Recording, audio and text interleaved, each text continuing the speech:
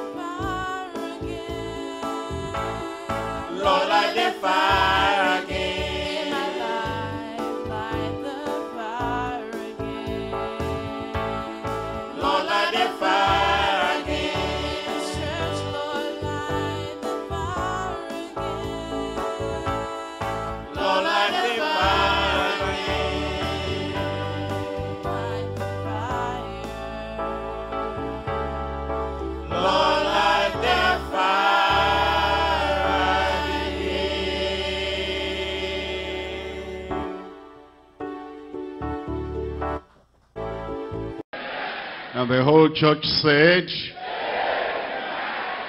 Good evening, everyone. I pray that today will be a glorious day in every life in Jesus' name. And the promises of God will be yes and amen in every life. Give me a good, good amen. Our Father, we thank you for this glorious day. What a special day. We thank you because of the Bible study. Thank you for our friends, our neighbors, our invitees who are coming for the first time. Thank you for those who just gave their lives to the Lord. And they are here today to study the Word of God with us. Thank you for fathers and mothers, pastors and leaders, members, adults and children and youths who are here today to study the Word. I pray, Lord, that everything we'll study will be beneficial to everyone in Jesus' name. Your word will not fall to the ground. It will do good in every heart. And Lord, we pray that all the promises and everything we're going to look at will be of tremendous profit to everyone. Turn every life around and give your people all the blessings they need that you'll be their sufficiency. We thank you because we know you have answered. In Jesus' name we pray. God bless everyone tonight. We're coming to John chapter 11. And tonight we're looking at verses 1 through to 16. Actually, as you look at this chapter, the whole chapter itself is a unique chapter in the gospel according to St. John. It's a unique chapter in the whole of the New Testament. It's a record of the miracle of the raising of Lazarus out of the dead. It's a detailed account of the sickness and the death and the resurrection of Lazarus. The other Gospels wrote about Christ raising the dead. But this one that we're reading in uh, John chapter 11 is of a higher order. What does that mean? If you look at uh, Jairus' daughter that was uh, raised from the dead, she just died. And uh, she has not even been buried and not put in the coffin. It was a fresh thing. Actually, when the father came to Jesus, said, come down, here my child dies. It's at the point of death. And then it, she died, and then Jesus got there and raised him up, raised her up. And then another event of raising the dead is uh, the son of a widow woman of Nain. But you see, in that case, he was dead, put in the coffin, but not buried yet. And as the procession was going on, Jesus came there and touched the coffin. And that boy rose up. Like every dead thing in your body today will rise up. But in the case of Lazarus that we're reading today, it's a very different. He had died already. He had been buried in the grave. He's been there for four days and the body had actually been decomposing because it's, uh, Martha said, he stinketh already. And they put his stone there so that they say the final has come, the final end had come. And now Jesus came there and he raised him from the dead. What power and what might. And we're told that that Jesus Christ is still the same, tell me, today, yesterday, and forevermore. And tonight, that Jesus will work mighty in your life. The question is, why this chapter? Why is it so peculiar that John will record about the raising of Lazarus from the dead with all the various details of this man? The reason is, actually you see John was given the people of Israel and everybody that will read the sign that this is the Christ. This is the Messiah. And because he was doing that, he wanted to show them that nobody had ever done anything like this before in the history of the world.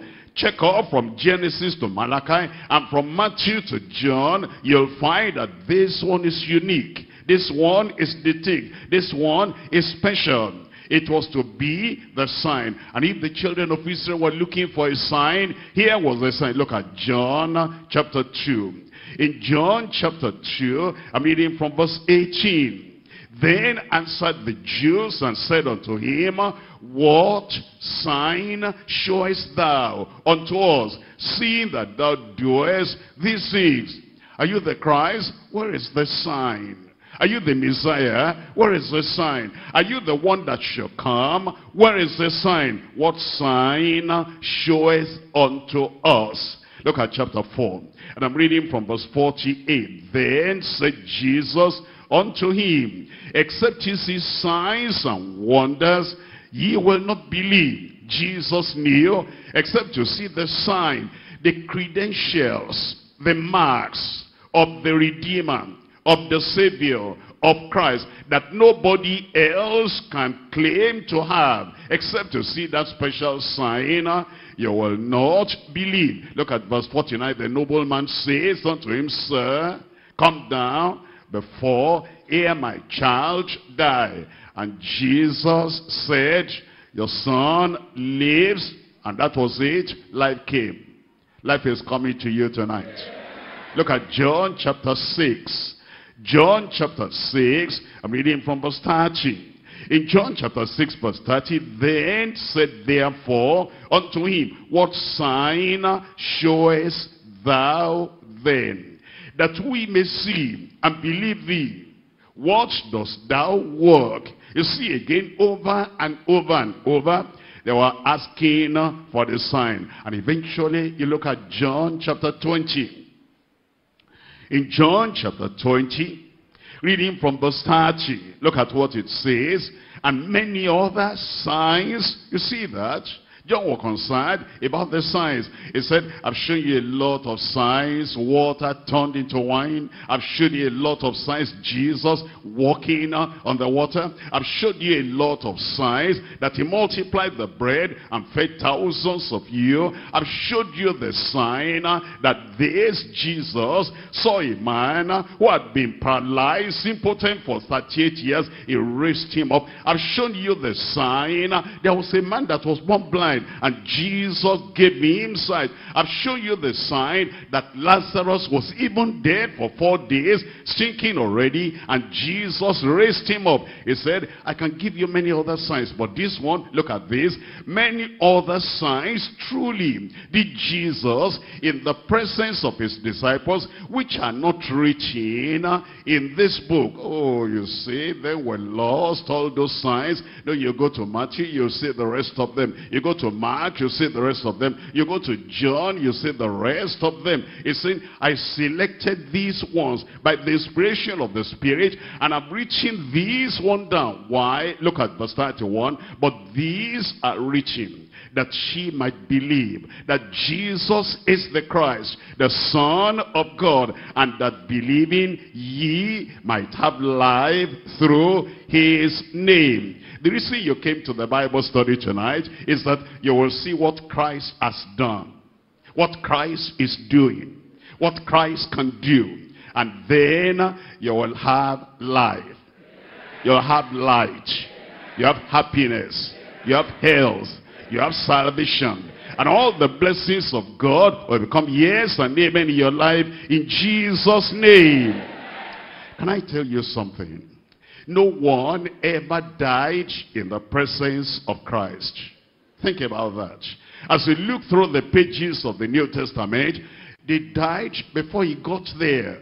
And when he got there, he drove away that spirit of death. But when it is in his presence, as you come to his presence, you will not die in his presence. Life will be strong. Life will be vibrant. Even in your life. In Jesus' name. Because no one ever died in the presence of Christ. They brought the sick to him. And he healed them. And God was glorified as he healed the sick and he raised the dead. We're coming to John chapter 11.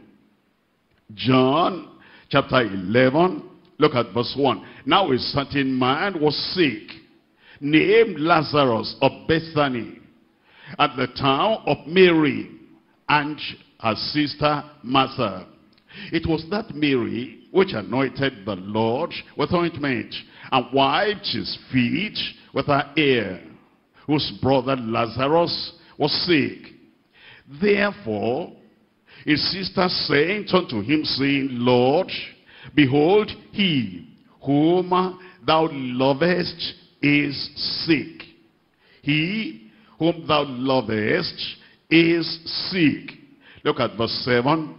Then after that saith he to his disciples, Let us go into Judea again. He'll get to you tonight. And then in verse 11, These things saith he, and after that he says unto them, Our friend Lazarus sleepeth, but I go that I may awake him out of sleep. Look at verse 14.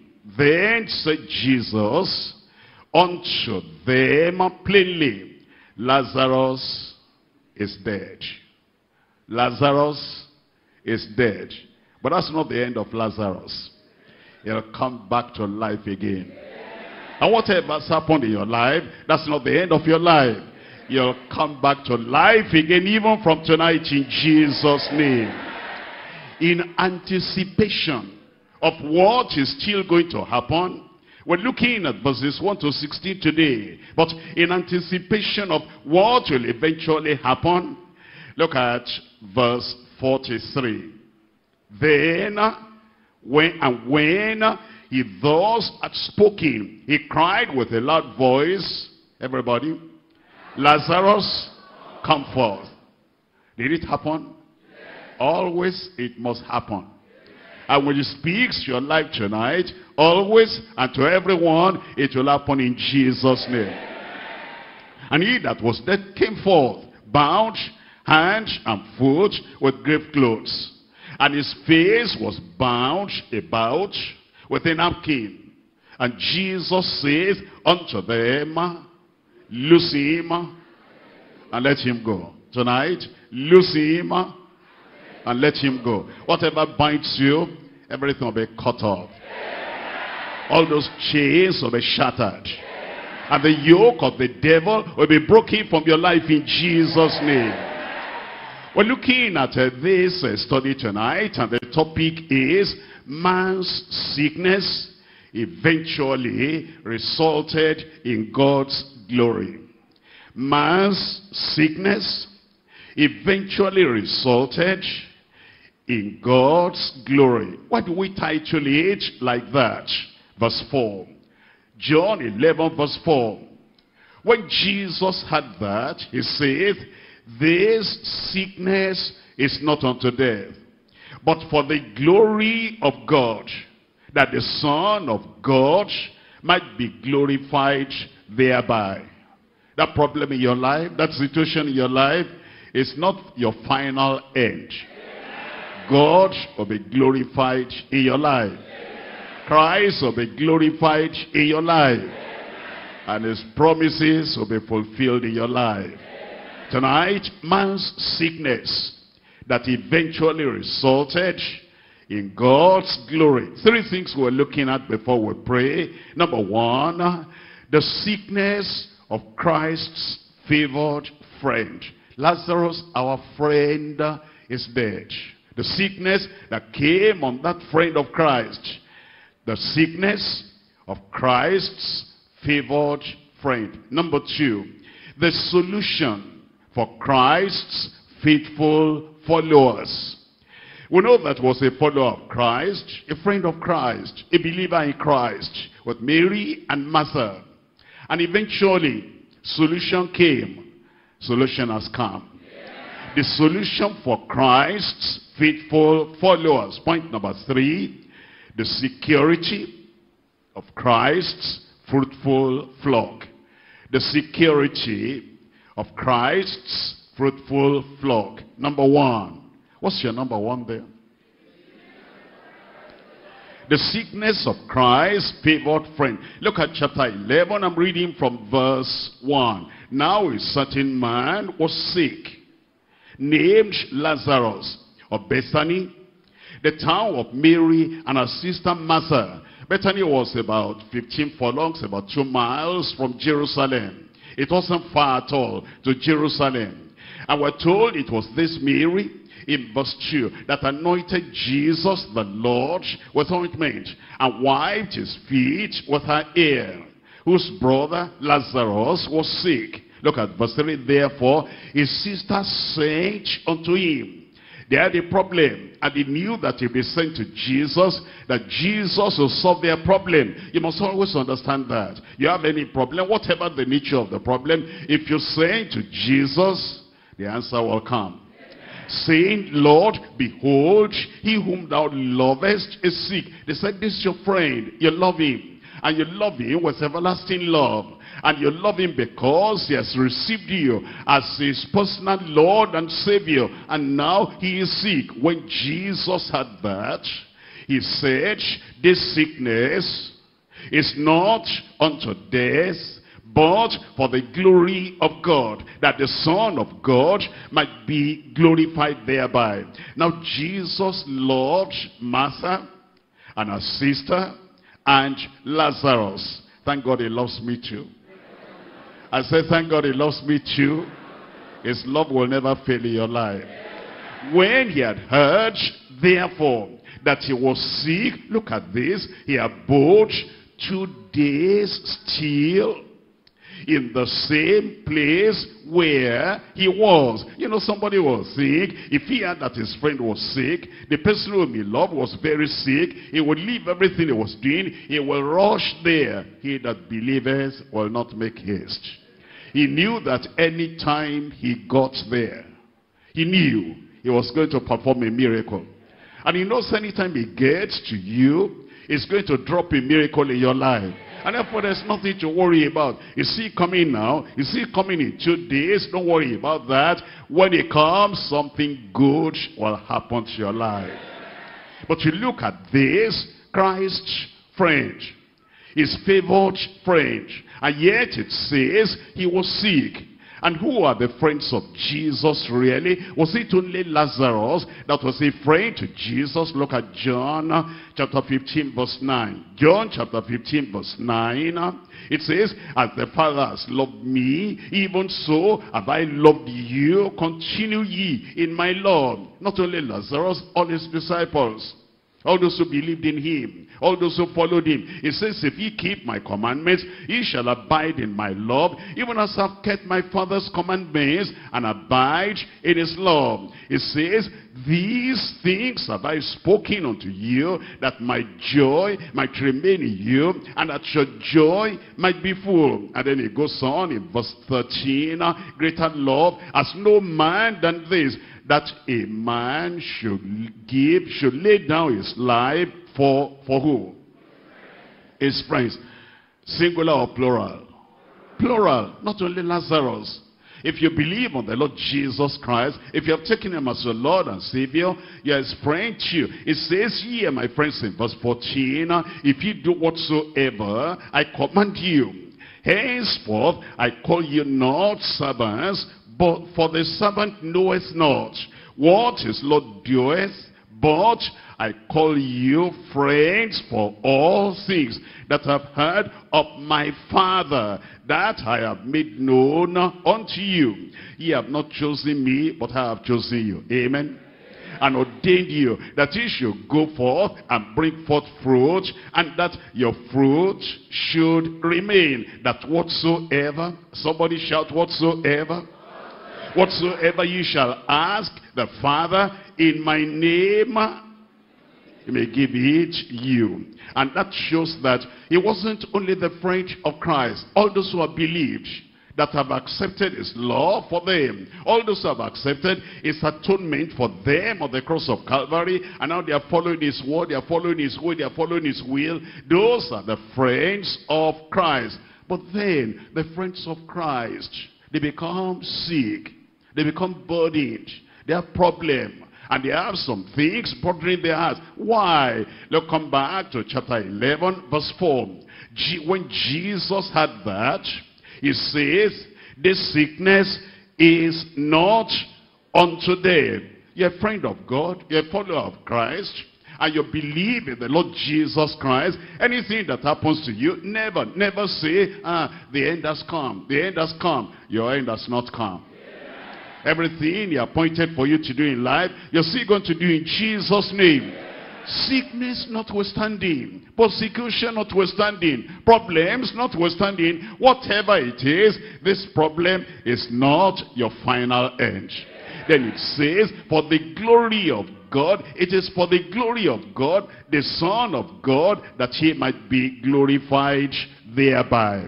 And let's look at uh, chapter 12. I'm reading from verses 1 and 2, you understand? After you raised him from the dead, that's the glory.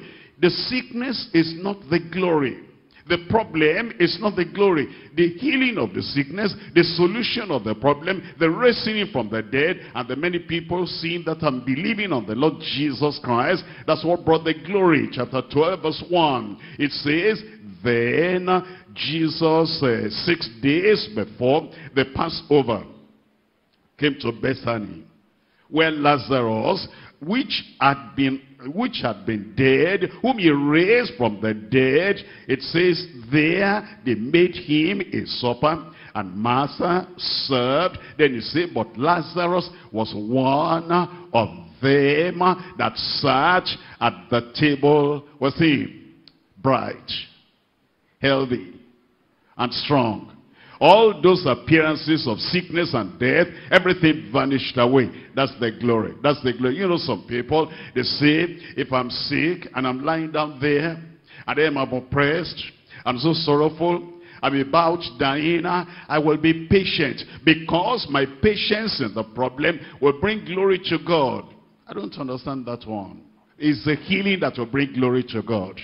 It's the rising up that will bring glory to God. It's the transformation and the change in your situation that will bring glory to God. And if you're going through any problem today, when the Lord turns that problem around and then you come out of problem, you come out of confusion, and you come out of that oppression of the devil, and you begin to give testimony, and we clap our hands and we rejoice with you. That's the glory. That's the glory. It is the healing. It is the raising from the dead. It is the power of God coming upon your life. That's what brings the glory. And thank God it's going to happen.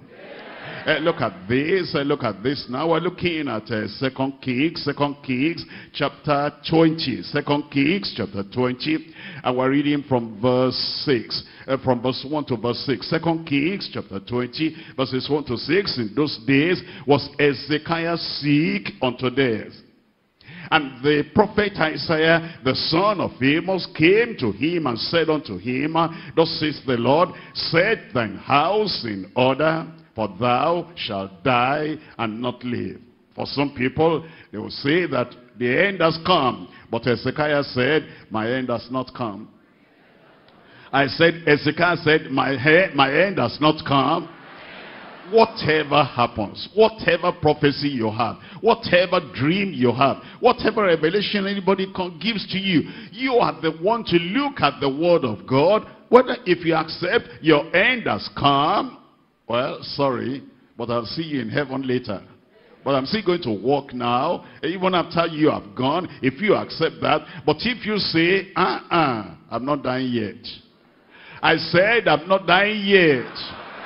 The glory of God will come into your life. Your end has not come. Look at verse 2.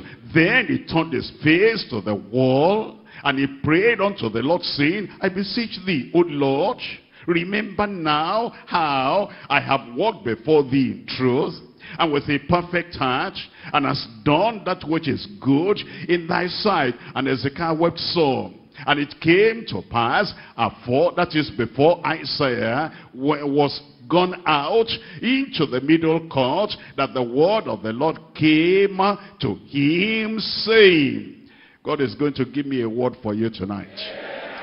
And what I say according to that word that he gives me, like he gave Isaiah a word for Ezekiah. That word was fulfilled. Whatever word he gives me to give you tonight, it will be fulfilled in your life in Jesus' name. Look at verse 5. Turn again and tell Ezekiah, the captain of my people, thus says the Lord, the God of David thy father, I have heard thy prayer. He has heard your prayer I have seen thy tears. He has seen your tears. Behold, I will heal thee.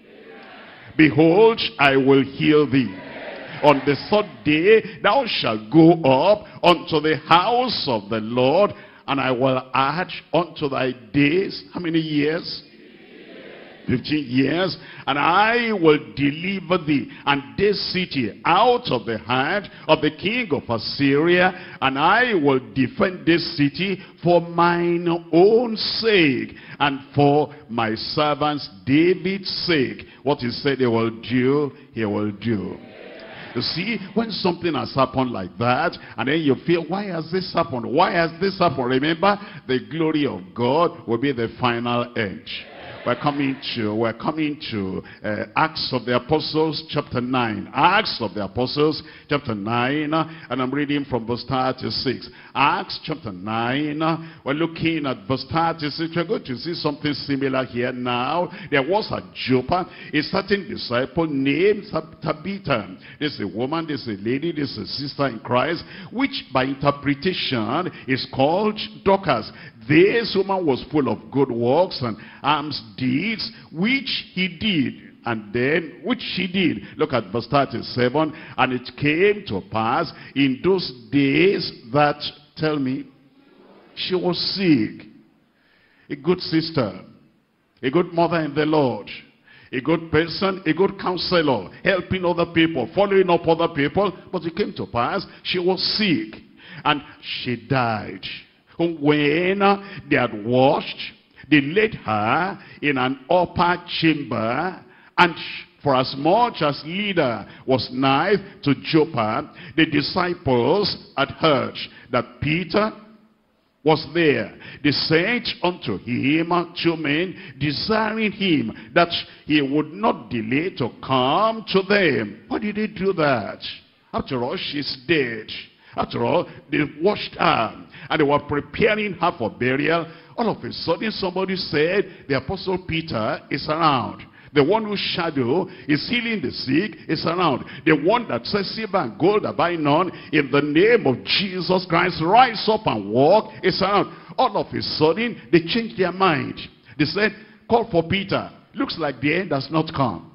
I said, looks like the end has not come. He says, since Peter is around, since the name of Jesus is around, since the power of Christ is around, it looks like the end has not come for Dorcas, and the end has not come for you. What's your name?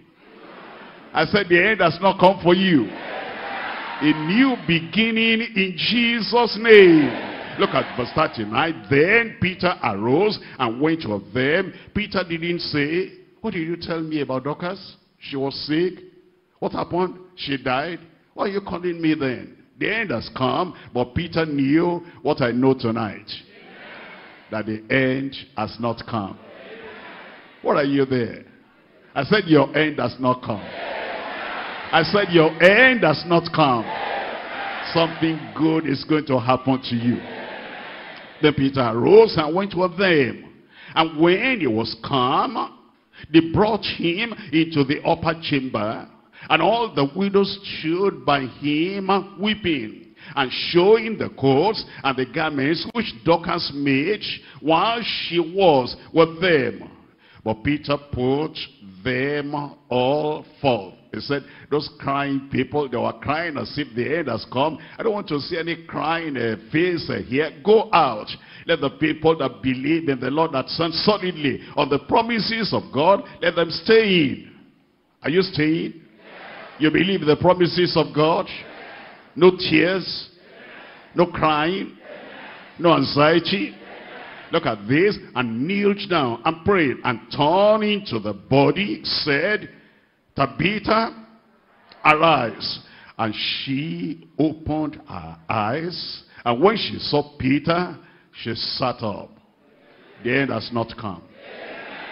You see, the Lord did not make Lazarus sick. You know, there are people, they read this uh, scripture, and then it says Lazarus was sick, and he told Jesus, and Jesus said, this sickness is not unto death, but for the glory of God. They say, ah, wait. They say, you know what happened? They said Jesus made his friend sick.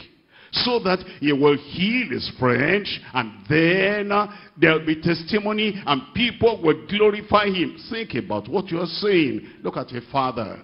If a father deliberately makes his son sick, poisoned the son and then runs around and took him to the hospital so, and so people will say he's a caring father and then people got to know that he was the one that made the son sick They'll look at him as a criminal, as a, as a devilish person. Look at a mother, a mother caring for a daughter. And then people got to know that she was the person that poisoned the daughter. And now to have a good name so people can praise her. She's running around to take care of the daughter.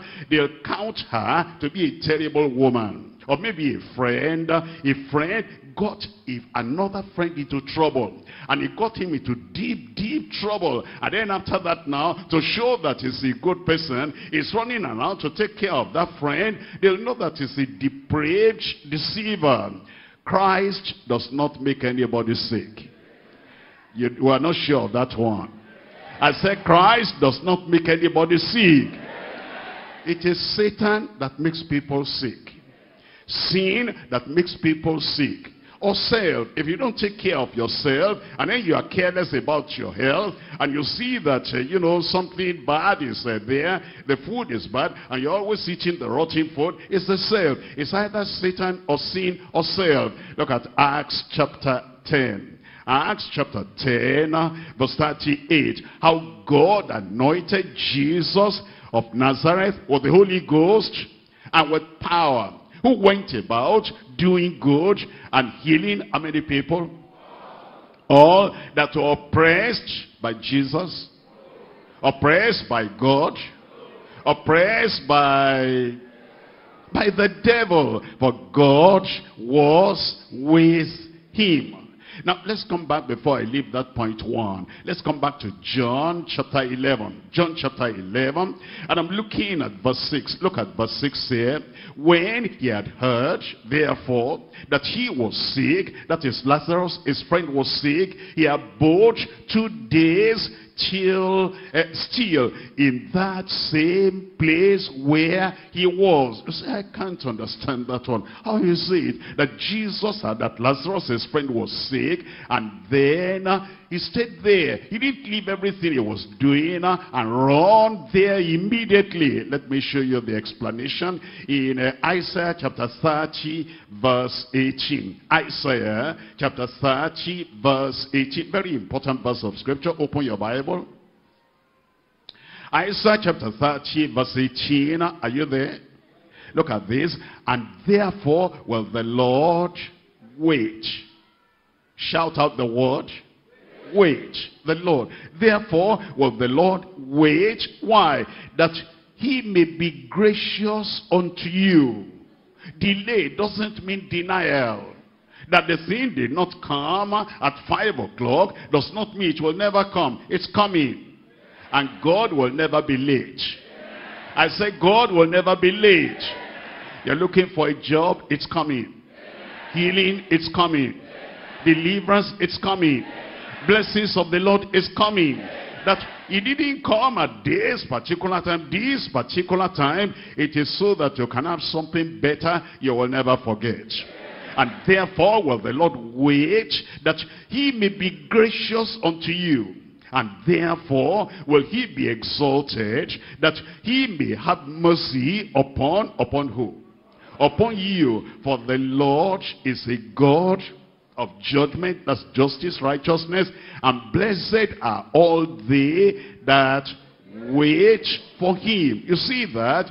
He is waiting so that he will give you the very best. And you must be waiting so you can have the very best. Thank God I'm going to have the best.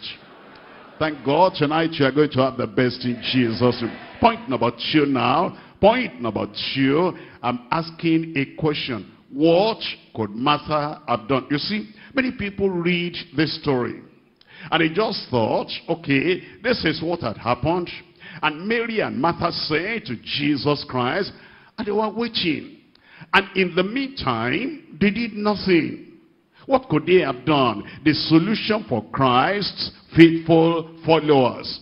As we read the stories in the Bible, we must understand when the other, when the people make mistake, let's know that this is a mistake they have made. When the people did what they shouldn't have done, let's know that this is what they should have done that they didn't do. Uh, what could Martha have done? What could Mary have done? How close was the solution to them uh, while they were still waiting the solution for Christ's faithful followers. Christ's faithful followers have ready solution. I have a solution tonight. You have that solution tonight. Various solutions were available for Lazarus and for Mary and for Martha, which they forgot and which they overlooked. Number one, Mary and Martha could have said, speak the word only and my brother will be healed. That's what the centurion said. He said, we're not, we're not waiting for you to come. We're not waiting for you that must come to Bethany. And the centurion said, you can speak the word right there. The person they sent to Jesus Christ, they could have told uh, Jesus, speak the word only, and Lazarus from that distance would have been healed. Number two, the two of them could have agreed together in faith. Because you remember, Jesus had visited them, and Jesus taught them. And Jesus said, Martha, Martha, you are cumbered and much busy over many things, but one thing is needful, which Mary has chosen because she was listening to the word of God. Mary, what did you hear when Jesus was teaching you? What came into your subconscious? What came into your mind? Look at Matthew chapter 18, uh, and I'm reading from verse 18. Mary, did you hear this one? When Jesus was teaching, in Matthew chapter 18 verse 18, uh, Verily, verily I say unto you, whatsoever ye shall bind on earth shall be bound in heaven. Amen. And whatsoever you shall loose on earth shall be loosed in heaven. Look at this, look at this. And again I say unto you, Martha and Mary. I say unto you, Mary and Martha, that if two of you, Miriam, Martha, shall agree on earth as touching anything that they shall ask, it shall be done for them of my Father which is in heaven. That's something they could have done. Number one, they could have said to Jesus Christ, Lazarus, your friend is sick. Where you are, speak the word only, our brother will be healed. Or they could have agreed together in faith. Well, something happened. Number three. Some time ago, it was near Bethany. And Bethany is the place where the uh, Mary and Martha and uh, these uh, three relatives, where they were living. And this thing happened in Bethany. Look at this, Mark chapter 11. In Mark chapter 11, and I'm reading from verse 12. Mark chapter 11, reading from verse 12. It says in verse 12, and on the morrow, when they were come from Bethany, he was hungry. And seeing a fig tree afar off, having leaves, he came, if haply he might find anything thereon. And when he came to it, he found nothing but leaves, for the time of figs was not yet. Look at verse 14. Jesus answered and said unto it, No man eat fruit of thee thereafter forever. And his disciples heard it. Look at verse 20. And in the morning, as they passed by, they saw the fig tree, what happened? Dried up from the roots. And Peter calling to remembrance says unto him, Master, behold, the fig tree which thou causest is uh, withered away. And look at the lesson here, look at the experience here. And Jesus answering says unto them, have faith in God. Verily, for verily I say unto you, that, tell me,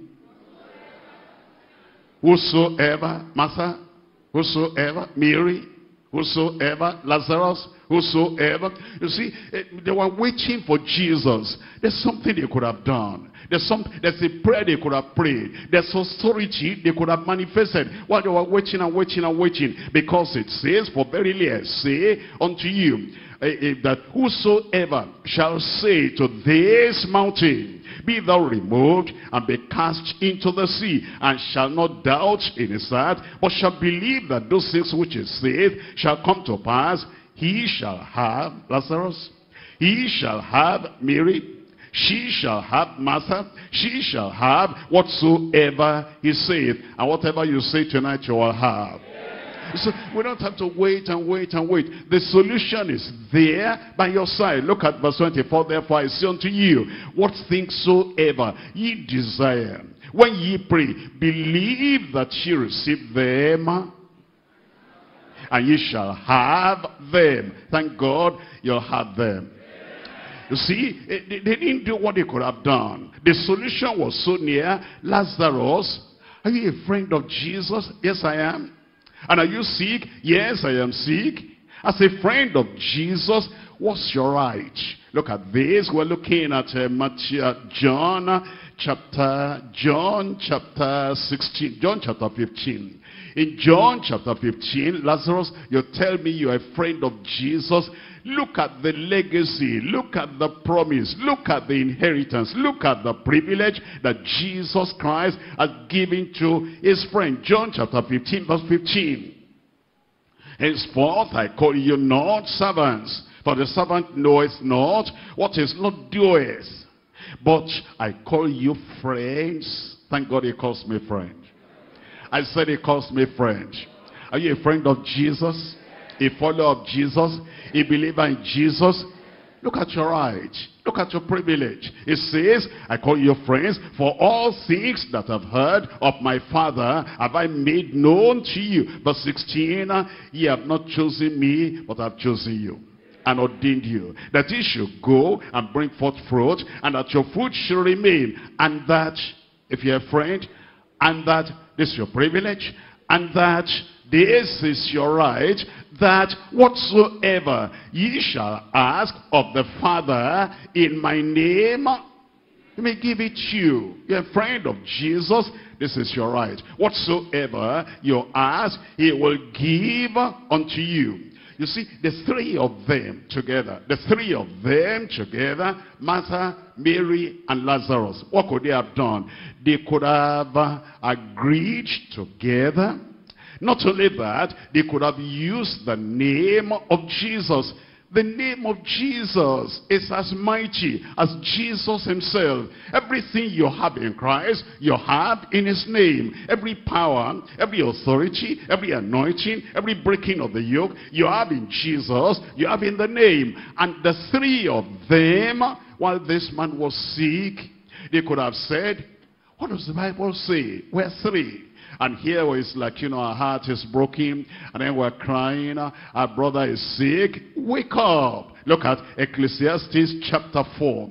Ecclesiastes chapter 4, I'm reading from verse 12. Ecclesiastes chapter 4 verse 12. And if one prevail against him, two shall withstand him.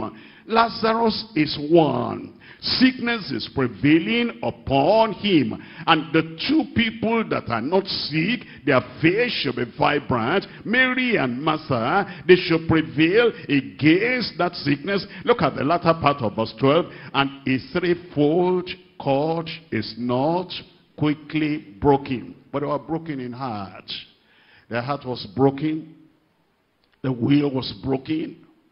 And everything they their backbone was broken and their confession was broken. But a threefold cord is not quickly broken. They should have stood Mary, all that you have been learning at the feet of Jesus all these days. It is when the problem comes, everything you've learned at the Bible study, everything you have been hearing, that's the thing to bring out that thing, the sword of the Spirit, and the kind of cut off that thing from Lazarus' life, and you cut it off from the life of your son bad luck. You're called from the life of your daughter. Any story you hear, you say, this is a plant. My heavenly father has not planted. I'm not, you know, just sitting there. If I were living in the time of Jesus, if Jesus were to be here physically, if I can see an angel now, if somebody will come to me now, you have greater is he that is in you than he that is in the world. Command that thing, that thing will vanish away in Jesus' name.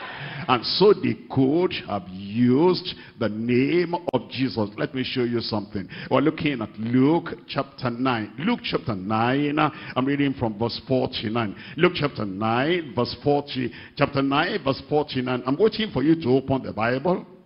Luke chapter 9, verse, uh, tell me, verse 49. John answered and said, Master, we saw one casting out devils in thy name, and we forbade him because he followeth not with us. There was even somebody who was not one of the twelve, somebody who was not one of the seventy, somebody who was not as close to Jesus as Mary, Martha, and uh, Lazarus, and that fellow, he had had just one message about the name of Jesus, and he went about, he cast out devils in the name of Jesus. If somebody who is not as close to Jesus will go about and cast out devils in his name, how about Lazarus? How about Mary? How about Martha? Wake up to your responsibility. You will cast out devils. These signs shall follow them that believe. Are there believers in the house tonight? These signs shall follow them that believe in my name.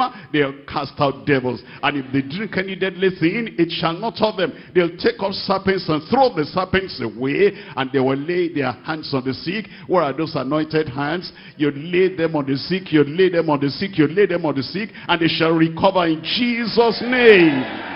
Uh, look at chapter 10. Look at chapter 10. uh, chapter 10 of Luke. And I'm reading from verse 17. Something they could have done. Something they could have done. It tells us in chapter 10 verse 17. And it says, And the 70 returned again with joy, saying, Lord, even the devils are subject unto us through thy name. Look at everybody taking their opportunity and taking their privilege and holding on to their right. And the 70, the 12, and this other one that is not even part of the company. And Lazarus just stayed there and waiting until Christ will enter Bethany. And he has given you his name. That name will work mightily in your life in Jesus' name. And now Lazarus could just simply have asked and believed and not look at the sickness and just look at the promise of God. Because look at what Jesus said. Matthew, uh, Mark chapter 9. Mark chapter 9. Reading from verse 23. Mark chapter 9, uh, verse 23. And Jesus said unto him, uh, hold on here. Unto him here, this him uh, was not a friend, uh, a close friend of Jesus, a familiar friend of Jesus. It was a man that had a son having the spirit of epilepsy and was meeting Jesus for the first time and had gone to the nine disciples because Jesus went to the Mount of Transfiguration and they could not do anything. And the man was so despondent and in despair and dejected. And he said, Jesus, I brought my son to thy disciples. He didn't know Jesus like Lazarus knew Jesus. He didn't know Jesus like Mary and Martha knew Jesus. But this man said, if you can do anything, help us. And look at what Jesus said. In that verse 23, Jesus said unto him, and Jesus is saying to somebody there tonight, I said, Jesus is saying something to you tonight. If thou canst believe, all things are possible to him that believeth. Lazarus, are you a friend of Christ? If thou canst believe, all things are possible to him that believeth. Mary, are you a friend of Christ? Martha, are you a friend of Christ? If you can believe, there are three of you there, and you can hold on to those promises of God, and all things will be possible in Jesus' name. You know what they could have done? You know what they could have done? Mary, Martha, and Lazarus. They could simply have kept a positive confession of healing. A positive confession of health. A positive confession of life. After you have mentioned the name of Jesus, then switch over. Don't talk about sickness. Don't talk about problem. Don't talk about mountain. Just hold a positive confession. If they had done that, what happened will not have happened. And thank God now you know what to do. I said you know what to do. You're, you're answering as if, no, I don't know what to do. Thank God I know what to do. Look at Psalm 118, verse 17. Psalm 118, uh, we're looking at verse 17. 118, uh, we're looking at verse 17. It says, I shall not die.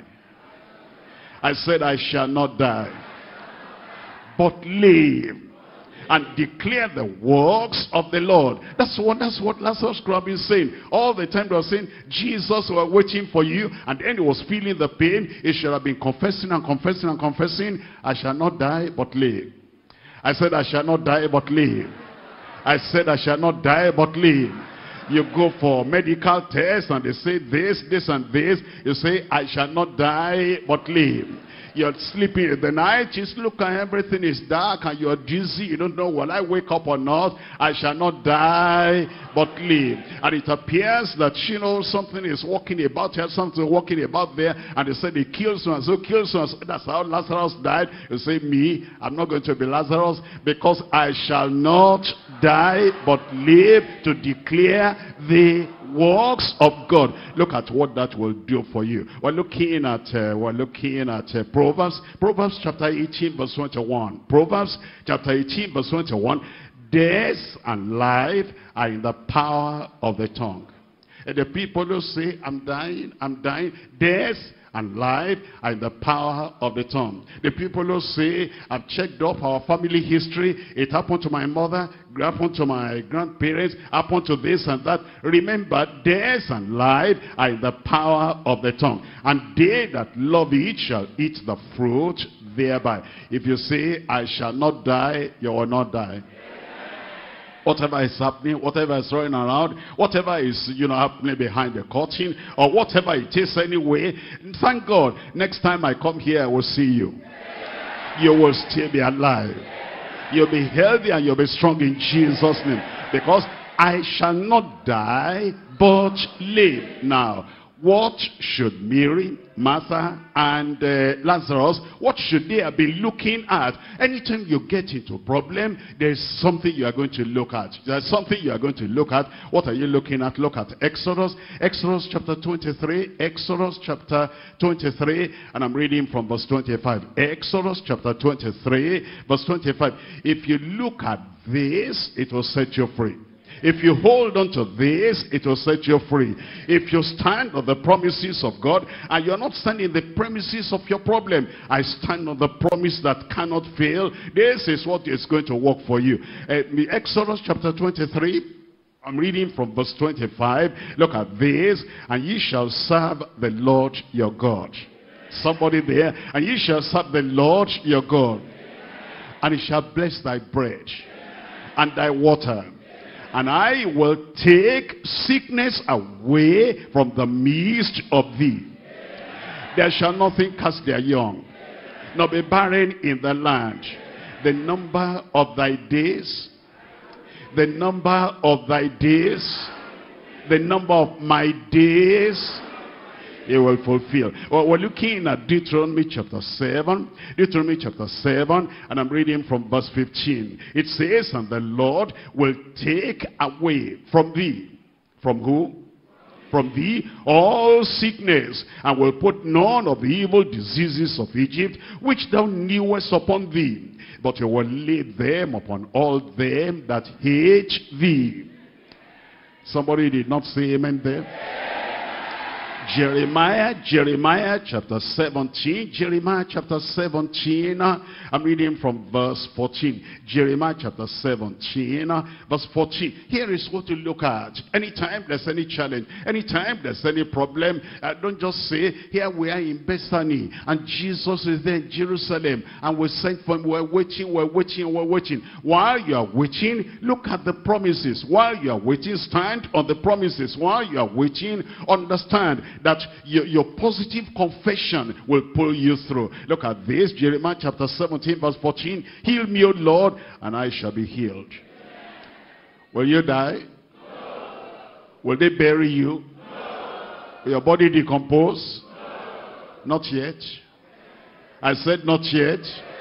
Heal me, O Lord, and I shall be healed. Save me, and I shall be saved. For thou art my praise. You see that salvation there, healing there at the same time. We're looking at Matthew, Matthew chapter 8, and I'm reading from verse 16. Matthew chapter 8, we're reading from verse 16. It tells us in verse 16 of Matthew chapter 8, it says, when the evening was come, like this evening, I said like this evening, when the evening was come, they brought unto him many that were possessed with devils.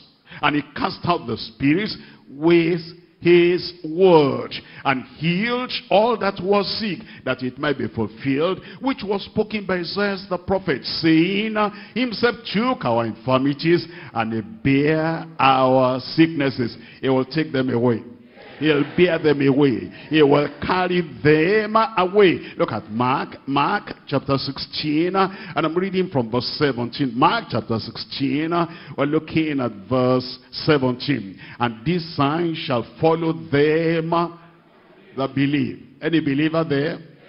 This sign will follow you. As are going home, the sign will follow you. Going to your business, the signs will follow you as you are doing the follow of the people that have just come to the Lord, and then you are visiting their houses, and as you go there, these signs shall follow them that believe in my name. They will take in devils. They will swallow devils. What do they do? Cast them out. I said cast them out. Don't just say amen. Say it for yourself. I cast them out. You cast them out in Jesus' name. It is not the tone of your voice. It's the name of Jesus. It's not how short you are. It's the name of Jesus. It's not whether you are a man or you are a woman. It's the name of Jesus. And it is not whether you are young or you are old. It's the name of Jesus. And if you go confidently anywhere you see the devil playing any trick and you say, devil, in the name of Jesus, come out. What will happen? You will cast out devils. They shall speak with new tongues. They shall take up serpents, and if they drink any deadly sin, it shall not hurt them. And it says, and they shall lay their hands on the sick, and they shall recover. Nobody will die under your hand. You lay hands on your daughter, she will recover. On your son, he will recover. On your wife, she will recover. On your husband, he will recover. And then as you go out and you're doing the follow-up and you meet anybody that is sick, you say, thank God, I've been looking for a chance to put that thing to test. I've been waiting. And I've been, you know, they taught us, but I've been waiting. I didn't see anybody, but, but now I see somebody. Thank God, this one is going to have a testimony. Thank God glory will come to God as the result of this tonight. Now, after the study, you'll be looking for people who are sick. You'll be looking for people who have any problem with the devil, and you know that power is in you already. You'll cast them out. I said you'll cast them out. They will recover in Jesus' name. You know, that's just laying hands on the sick. I'm coming now. I'm coming now to Acts of the Apostles, chapter 5. Acts of the Apostles, chapter 5. And I'm reading from verse 15. Look at this. It's so much that they brought forth the sick into the streets and they laid them on, on beds and couches that at the least, look at this, the shadow of Peter. Even without even talking, the shadow of Peter, something new is about to begin to happen. The shadow of Peter passing by overshadowed some of them, and there came also a multitude out of the cities round about unto Jerusalem, bringing sick folks, and them which were vexed with unclean spirits, and they were healed, and they were healed, and they were healed everyone. Uh, look at, uh, look at um, uh, Acts of the Apostles chapter 16. Acts chapter 16. This one now, you see many people, they're waiting until they say, I, I, hope I, I know what to do. If I knew what to do, I can tell you, you know what to do. The name of Jesus is in your mouth. Speak it out. And the confidence, the one, the greater one, is living within you, putting forth. And the word of God, the promise of God, is yes and amen in your mouth. Open your mouth and declare the promise of God. Lazarus will not have to die. We will not have to bury Lazarus. He will not be stinking in the grave while he's sick. Before he gets to that situation, run there, run there, run there, and go there with the name of Jesus. Something good will happen to Lazarus in Jesus' name. Now, are you listening? Look at Acts chapter 16. Acts chapter 16, uh, we're looking at uh, verse uh, 25. Uh, It says, At midnight, Paul and Silas prayed and sang praises unto God. And the prisoners heard them. Paul and Silas prayed and sang praises unto God. Look up here. Many people don't understand. Let's say, for example, you see somebody that, uh, you know, is sick. And, uh, you know, two of you, Paul and Silas. Paul, where is he? Silas, where is he there? And the two of you, you get there. Mary and Martha. And they got there. And then after they have prayed, Jesus, we thank you because your name will work wonders. We know that with you all things are possible. And after they have said, in Jesus' name we pray. And they don't see anything happening. Then they take uh, the gospel hymns and songs and they begin to sing GHS number 19. Christ Jesus has the power. The power to forgive and the power to cleanse all he will. Christ Jesus has the power even to destroy your enemy. And this, uh, this sickness is an enemy. While you are singing like that, power will come down. So if you don't know how to pray, don't you know how to sing, uh, and then standing on the promises, you go from number 19, you go to what 243, and then Christ Jesus will stand on this promise that cannot fail, and you sing that and sing that and sing that, and then after that, you, if something nothing has happened yet, then you open another one, and then you begin to sing. Before you sing two, three uh, hymns there, that person will get up. Uh, look at look at this look at this. I'm reading now from verse 26 it says suddenly suddenly somebody shout suddenly. Suddenly, there was a great earthquake, so that the foundation of the prison, they were shaking. And immediately, so everybody says immediately, and immediately all the doors were opened and everyone's bands were loose. Thank God we have the answer we have the solution. And then we have the breakthrough from tonight. Sickness will not cheat any members of our families in Jesus' name. I will not cheat our friends anymore in Jesus' name. We're going to have the victory. I'm going to have the victory. I said I'm going to have the victory. Now look at this, look at this. Uh, we're looking at uh, we're looking at uh, uh, Acts of the Apostles chapter 19 uh, and I'm reading from verse 11. Acts of the Apostles chapter 19 verse 11 and God and God wrought special miracles by the hand of Paul so that from his body were brought unto the sick handkerchiefs or aprons and the disease departed from them and the evil spirits went out of them. Did you hear that? The handkerchief and the apron that had touched the body of Paul the apostle. You see how that happened? That thing went away. Mary and Martha. Let me come to Mary and Martha again. Mary, did you hear that story about that woman that had issue of blood? And then she didn't bother to say, let Jesus lay hands on me, let this happen, let them quote this, let them quote that, let Jesus uh, cast out anything. He said, if I may but touch, somebody tell me there, the hem of his garment, I shall be made whole. And she touched and she was made whole. Mary, Martha, the person you said, you could have said, speak a word, Lazarus will be healed. Or Jesus, just send us an handkerchief. And as it touches this Lazarus, that evil spirit will vanish away. I'm just saying that they had a lot of solutions around them that they could have employed and they did employ them. But thank God I know better. I said I know better.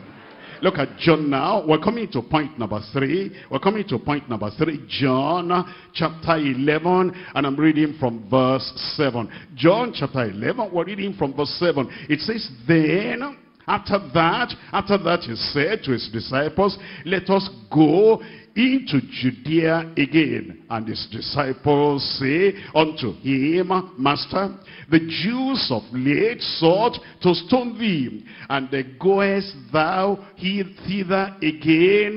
You see, they were afraid, even these disciples.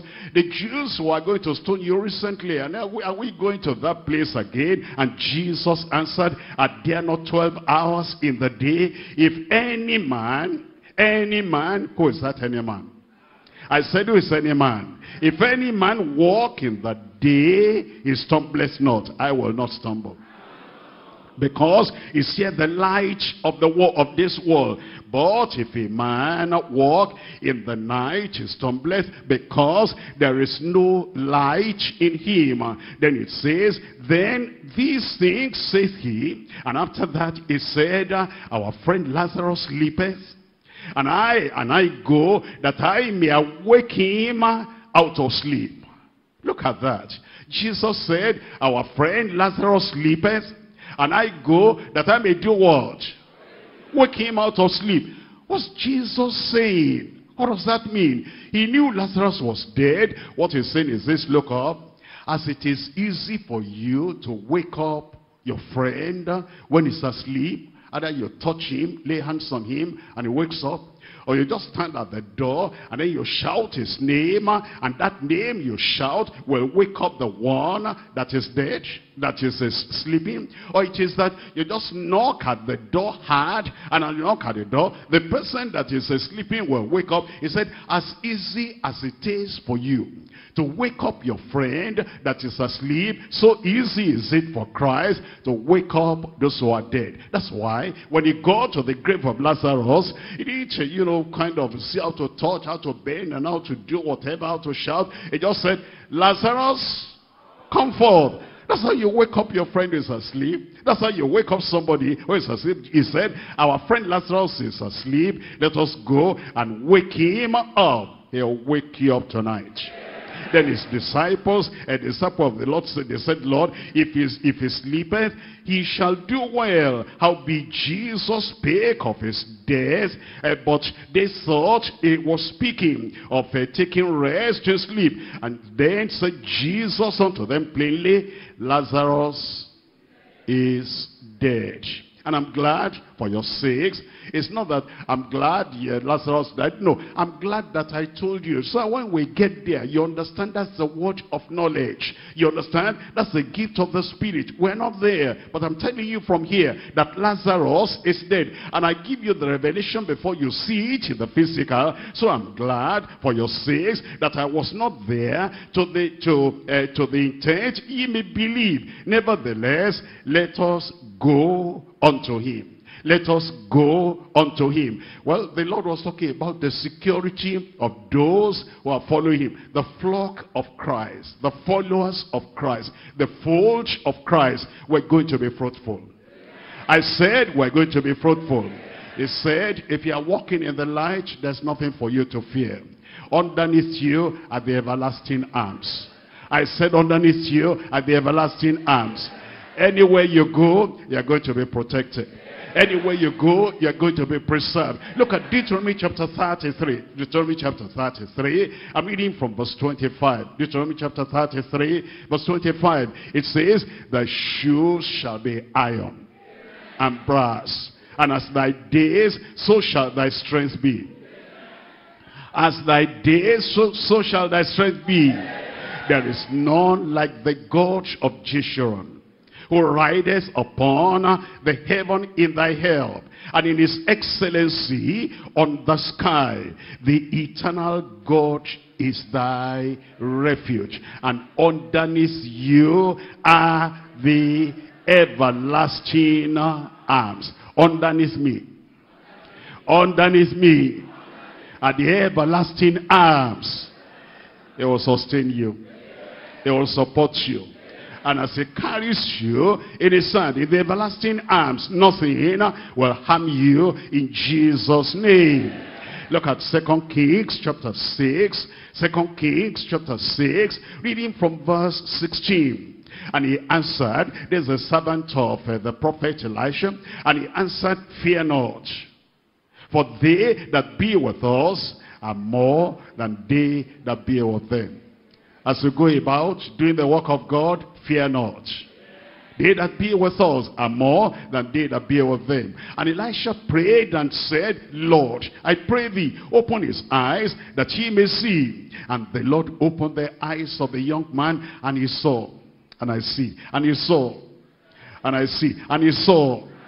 And he saw, and behold, the mountain was full of horses and chariots of fire round about Elisha. Didn't you hear? The Lord will protect you. Second Chronicles chapter 32. Second Chronicles chapter 32. And I'm reading from verse 7. Second Chronicles chapter 32. We're looking at verse 7. Be strong and courageous. Be not afraid nor dismayed for the king of Assyria, for all the, all the multitude that is with him. For there be more with us than with him. There be more with us than with him. With him is an arm of flesh. But with us is the Lord our God. And to help us and to fight our battles.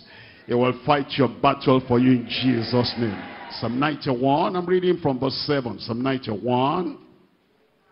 We're reading from verse 7. It tells us in verse 7, Psalm 91, a thousand shall fall at thy side, and ten thousand at thy right hand. But it shall not come nigh thee. Only with thine eyes shalt thou behold and see the reward of the wicked. Because thou hast made the Lord, which is my refuge, even the Most High, thy habitation. There shall no evil befall thee. Neither shall any plague come near thy dwelling. For he shall give his angels charge over thee, to keep thee in all thy ways. They shall bear thee up in their hands, lest thou dash thy foot against a stone. Thou shalt tread upon the lion and adder. The young lion and the dragon shall thou trample under feet. Psalm 121, 121, Psalm 121, 121. And we're reading from verse 3. Look at verse 3. It says in verse 3, He will not suffer thy foot to be moved. He that keepeth thee shall not slumber. Look at verse 8. The Lord shall preserve thy going out and thy coming in from this time forth and even forevermore. The Lord has given us a work to do. And the Lord Jesus, let us go, let us go, let's go, let's go. And then he said, they are going to stone us there. Because you see, recently they wanted to stone you. Are you going there again? We're walking in the light. And as, soon, as long as we're walking in the light, there is nothing to fear. I'm looking at somebody there. I said, there's nothing to fear. In your family, there's nothing to fear. Because he that is with you is greater than he that is there in the world. We're looking at Acts chapter 18 verse 9. Acts chapter 18 verse 9. Then spake the Lord to Paul in the night in a vision. Be not afraid, but speak and hold not thy peace. We're busy, we're following up now. We're following up the converts of the crusades. And as you go about, be not afraid, speak out, hold not your peace. Look at verse 10. For I am with thee. Somebody there, I am with thee. And no man shall set on thee to hurt thee. For I have much people in this city. I have much people in this city. And because he has much people in this city, and you are part of the people that will win them and keep them, and they will continue with the Lord, it says, go and be not afraid of anything. First John chapter 4, we're looking at verse 4. First John chapter 4, and we're reading from verse 4. In First John chapter 4, verse 4, here is the word of the Lord for you. It says, ye of God, little children. Anybody of God there? Born again there, redeemed there, a child of God, the year of God, little children, and have overcome them. And have overcome them. Because greater is he that is in you than he that is in the world. Greater is he that is in you than he that is in the world. What's the Lord telling us? As long as we're in the path of duty as long as we're doing the divinely appointed work that he has appointed for us, we're safe and we're secured. Underneath us are the everlasting arms. Before us is the Almighty.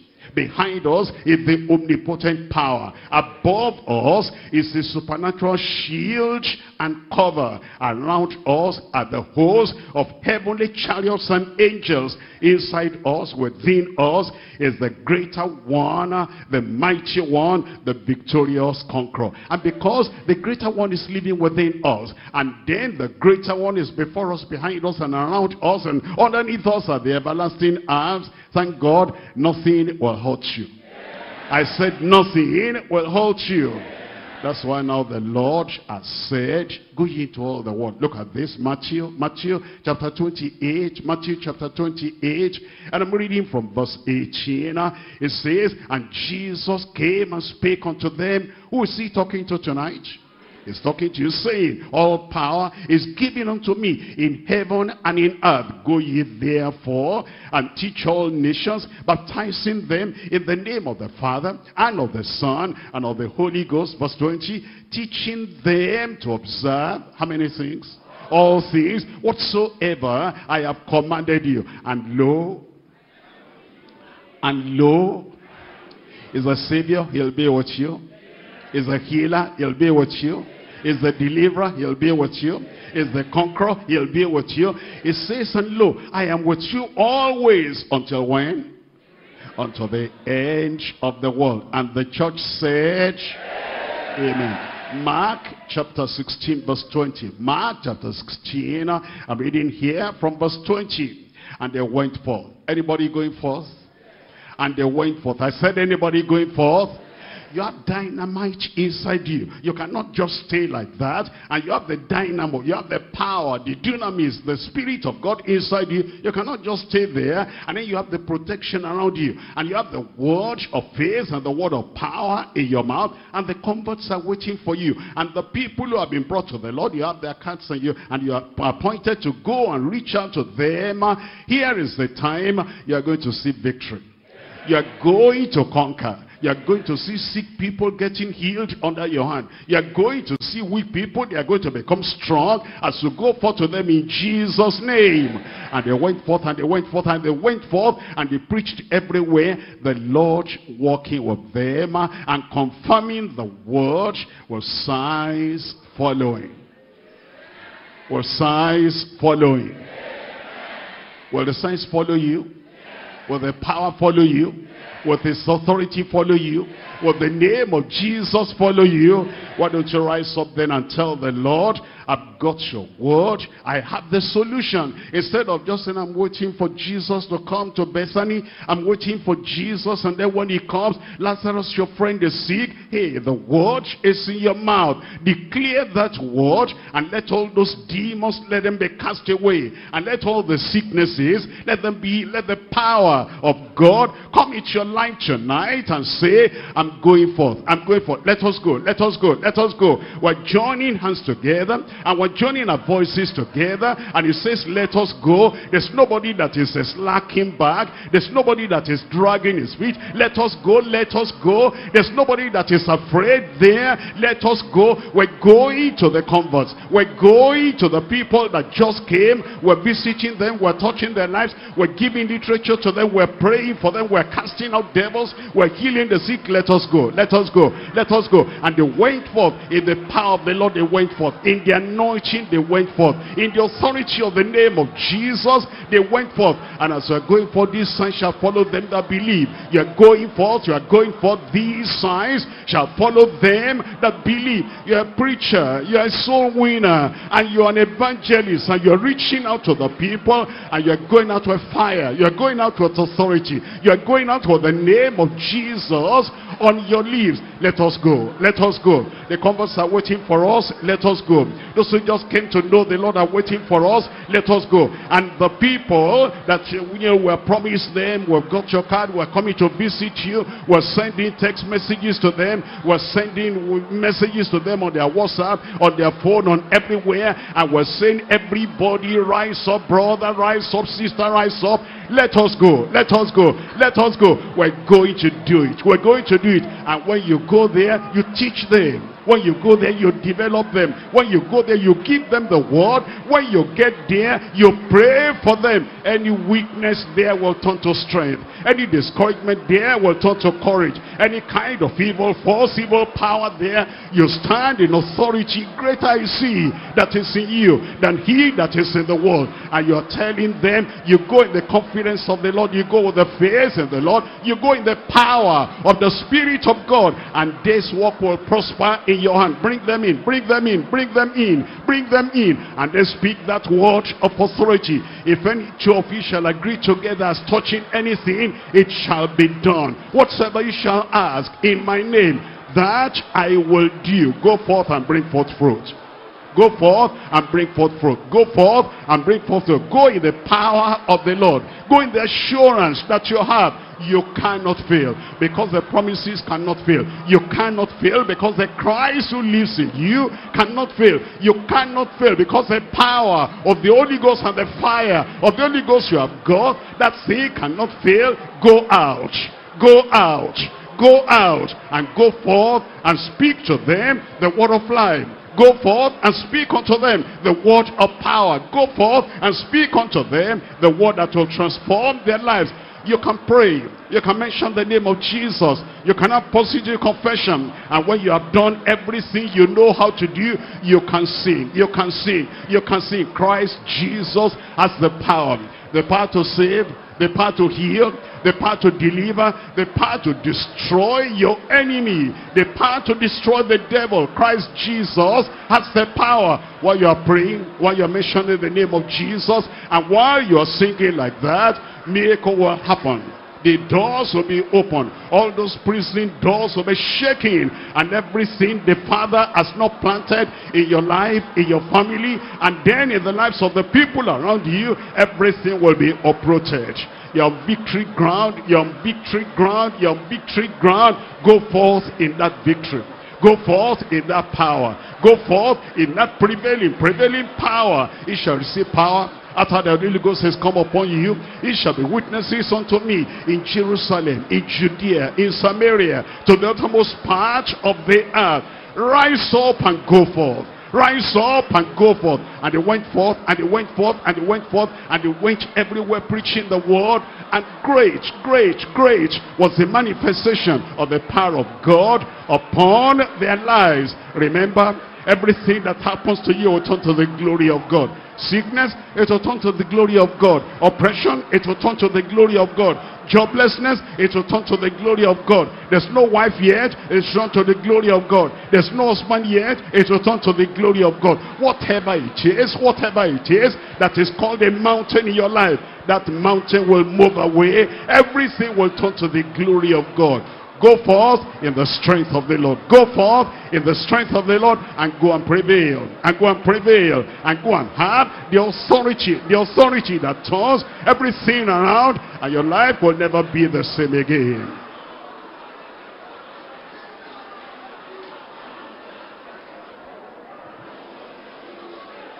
In Jesus' name we pray. Every sickness will vanish away. Every mountain will move away. And all that discouragement in your heart, all that is going away tonight. The fire of God is coming in your soul. The power of the Holy Ghost is going to come in your soul. And this power, this power, this power, and the fi fire power will continue to move you. You go here, you open your mouth, a miracle will happen. You go to the other side and you are being follow up all the problems that are there. Go and solve their problems. I said go and solve their problems. Go and heal the sick. Go and cast out devils. And let your word will be the word of power and the confession of your mouth will be fulfilled in Jesus' name. Raise up your hand there and let's break every yoke. Let's destroy every work of the devil. Any sickness in your body, you went to the hospital, they said this report and this report. This is the time that sickness will vanish away.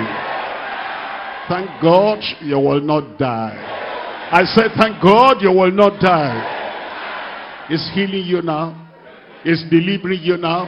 It's empowering you now. It's putting authority in your mouth right now. And the anointing that breaks the yoke is flowing into your life right now. Father, in Jesus' name. You said, whatever we ask in the name of Jesus, you will give. I'm asking for every brother, every sister, every boy, every girl, every young person, every old person, whatever sickness is there, you sickness, I command you, come out in Jesus' name. Any power of darkness oppressing anyone, tormenting every anyone, you said, well, cast out devils every kind of devil, every kind of evil spirit, evil power, every, every yoke and every cause, I break everything. Those spirits come out in Jesus' name. Lord, I pray their weakness will turn to strength. Discouragement will turn to courage. And all the oppression, you bring them out of that oppression and you give them the victory in Jesus' name. You have said, underneath us are the everlasting arms. Anyone that is feeling insecure, there are enemies around you, they're doing this and they're doing that. All those enemies, I cancel their power from your life in Jesus' name. The Lord is with you now. Underneath your power, in front of your power, behind your power, around your power, inside you power. I pray that power will remove every mountain out of your life in Jesus' name. Receive your victory. Receive your deliverance. Receive your healing. Receive your dominion. And the courage and the power to go forth and do the work of God. Receive in Jesus' name. Keep up those hands. Keep up those hands. Lord, anoint all these hands. By the power of the Holy Ghost, anoint all these hands that when they lay these hands on the sick, no matter the sickness, that sickness will be healed in Jesus' name. Anoint their tongue. Anoint their mouth. That as they speak the word of God, I pray power will come through their mouth. Anointing will come through their mouth. And Lord, I pray like a mighty army, all your people were going forth and nothing can stand before this army. And I pray, Lord, all those who have been defeated before, get up. You are more than a conqueror from today. Let your power, let your strength, let your grace, let your anointing, and let everything good follow after your people in Jesus' name. Supply all the needs and all the lacks in their lives. As you go, you'll find God as your sufficiency. Everything will fall into place. Everything will be all right. No more tears. No more crying. No more sorrow. Go and enjoy your victory. Confirm each and every life, Lord. I thank you because I know you have answered. In Jesus' name we pray.